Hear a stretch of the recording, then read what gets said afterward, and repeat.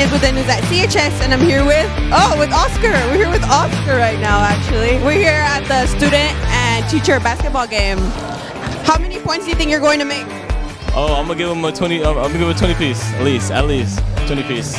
Who do you think is going to win, students or teachers? Teachers, of course.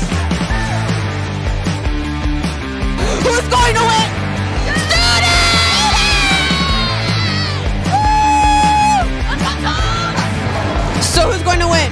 We are, we are, we are, for sure, for sure. So we, we, Miss Norris, Miss Norris, Miss Norris, you guys are weak. Yeah, all, all day, Miss Norris.